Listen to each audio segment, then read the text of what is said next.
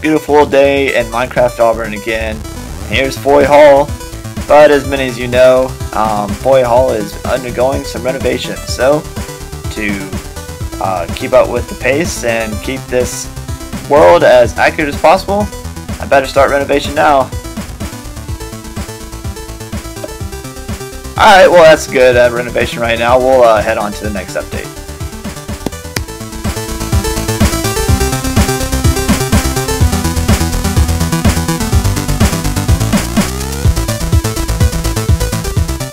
Hi, sheep. What on earth are you doing here? Do you know this is Auburn University?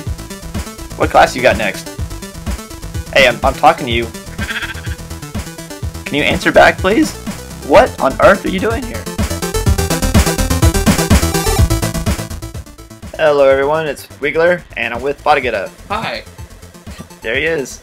Uh, I have Badageta here because he had an integral part in uh, building this update. Uh, you'll soon see that we had a huge update this time. Uh, lots of buildings, lots and lots of buildings. Uh, we'll count them as we go along because I really don't know the number. Um, anyway, so we'll start over here with uh, Allison. And we'll try to go through these pretty quick uh, because we don't want a 20 minute video.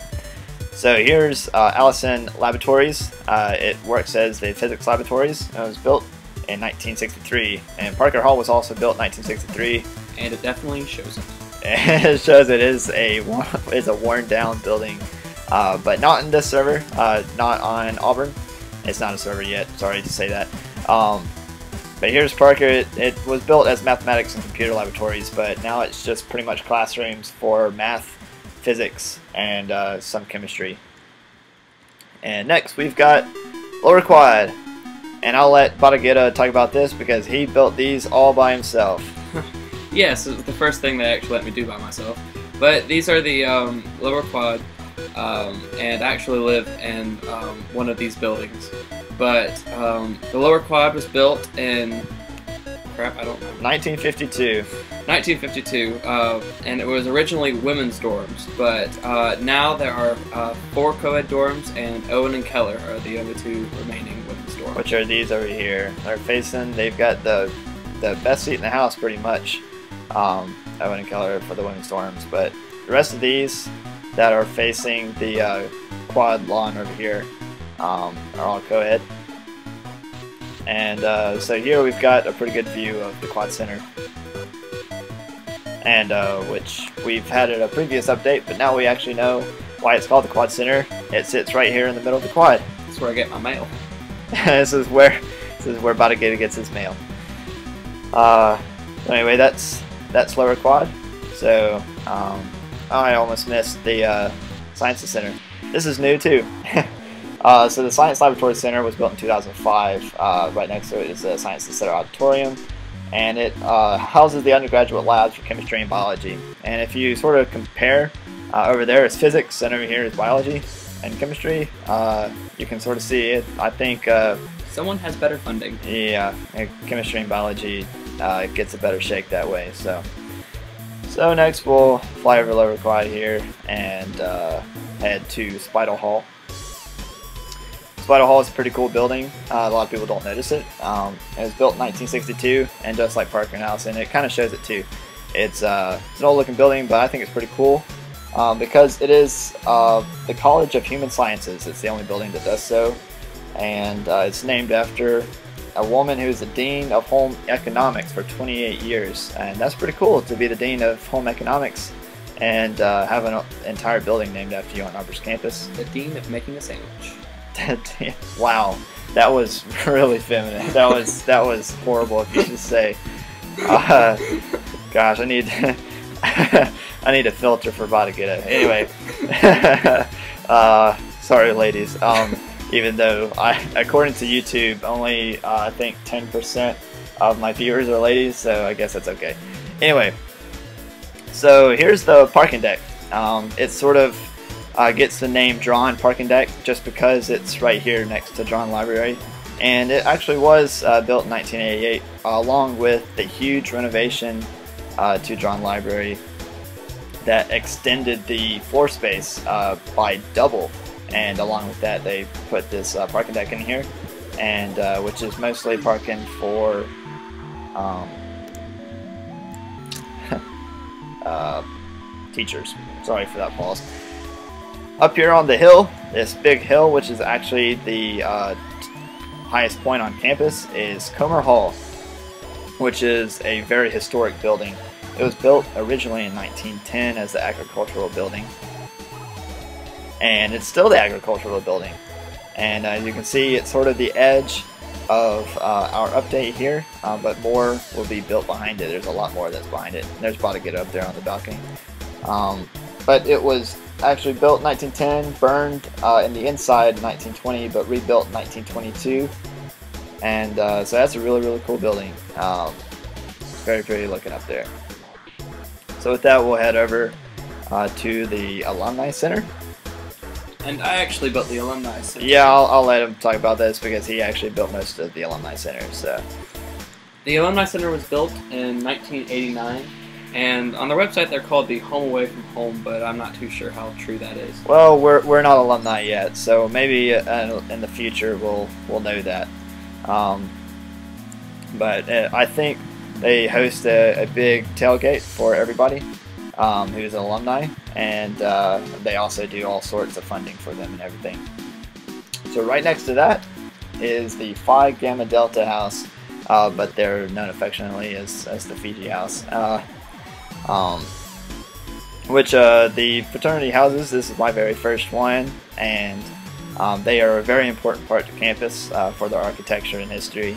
Uh, and so I, I, I can't skip them. They are they are amazing parts of campus. So um, particularly the Fijis um, have been on Auburn's campus till uh, since 1962 and is actually the only house uh, to remain on the original fraternity row, uh, which used to lie right here along College Street. Everybody else has moved on the far edge of campus, way over there, which has not been built yet. Uh, but the Fiji house is the only one to remain right here. Uh, that makes them pretty unique. It's a pretty cool thing. Um, so next to that, we've got this monstrous parking lot, which is for none other but the AU Hotel and Conference Center, which also was about to get his job, so I'll let him talk about that real quick. The Hotel and Dixon Conference Center. Um, let's see what about. It's uh, it's got a whole lot of rooms in it and a gigantic conference center, uh, and uh, he he pretty much just knows what it looks like. Uh, but uh, one cool thing about the AU Hotel and Conference Center is all the visiting teams that come to play the Tigers here in Auburn. I think all of them uh, stay in here. Um, it's uh, pretty old looking on the outside. Um, I'm not exactly sure when it was built, but it looks like it was built in the 80s. Um, but the inside has been renovated, uh, I think 2008, and uh, it's a it's a really beautiful complex. So if you ever come to Auburn, um, hopefully you can stay in the AU hotel. So as we go along, we've got two more buildings in our update. Almost done because my voice is going out. Uh, my, my throat is dry. So right here across the street from Samford Hall here, we've already seen the uh, University Chapel, but right next to that is Smith Hall. It was built in 1908 and it uh, has served a lot of different duties. Um, it's the only uh, building on campus to have a French architecture, which is, is pretty cool. Um, but it served in 1918 for a hospital for people on campus because Spanish flu hit campus pretty hard, and uh, so it served the hospital for that.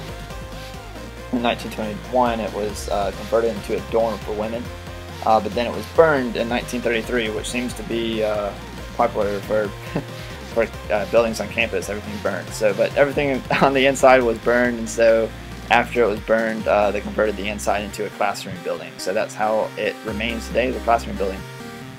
Uh, right next to that is Ingram Hall, about built 1924. Around the same time, Smith Hall was a women's dormitory. It was built as a men's dormitory.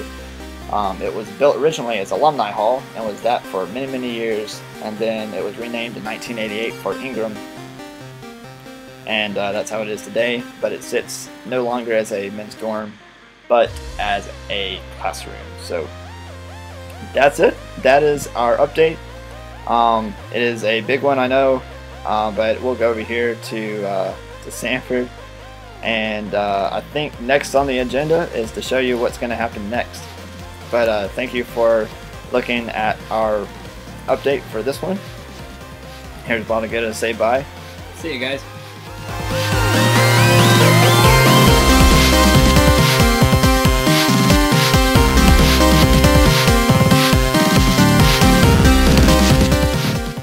What a mess. Well, this uh, big wall and waterfalls here uh, is the site of the next update. Hope you enjoyed the last update. Um, unfortunately, all that used to look just like this. This is what uh, the world looks like before I put my handiwork on it. Um, and so right here next to the Walker building, we go this way and go around the stadium and all this will be included to the next update. So that includes the Lowder Business Building, uh, the Village, uh, Nichols Center, which is the RTC building, and most importantly, the basketball arena, so which is way over there. So uh, make sure you stay tuned and come back next time for that exciting update. Alright, well that's my show. Uh, thank you for watching Weagler. Thank you for coming back and watching another one of these. I'm going to leave a link uh, to go look at the first one if you're completely confused of what's going on here. Uh, this is a small part of what's actually going on in building this entire campus, so uh, go back and watch the other one and hopefully you'll get um, a better view of this. So again, thank you for all the support. Thank you for uh, for watching, and uh, I'll see you next time. We got out. Where do you go?